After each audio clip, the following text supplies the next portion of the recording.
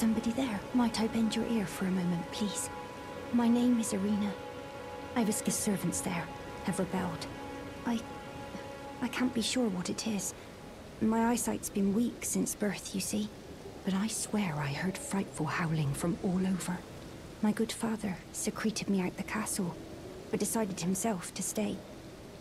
He says it's his duty. As commander. I... I... Servants are full of wrath. Filled with since come for every one of the companions I escaped with. They haven't spared a soul. I fear it's no different at Castle Morne.